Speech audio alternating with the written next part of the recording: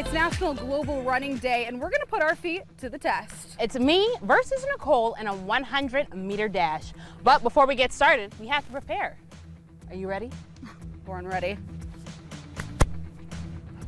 I'm preparing for this race, of course, by uh, making sure I'm dressed comfortably.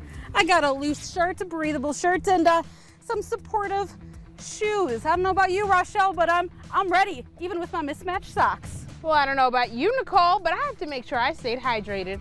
I'm already halfway through the day.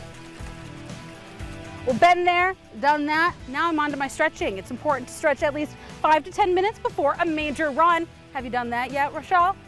I stretched five minutes ago. I'm getting my heart rate going by doing a brisk jog. Backwards. It's now time for the race. May the best runner win.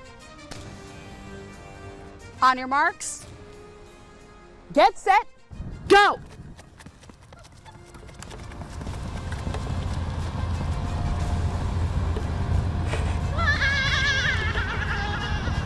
well, that was a fun race, wasn't it, Rachelle? I'm sure it was.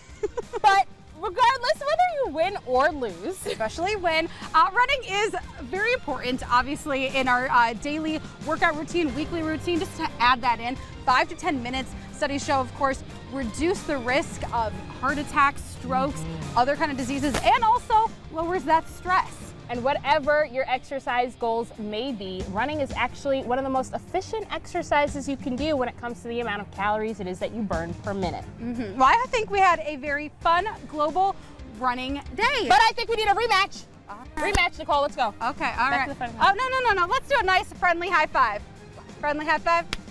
Because that's, that's this week's Studio 10 tidbit.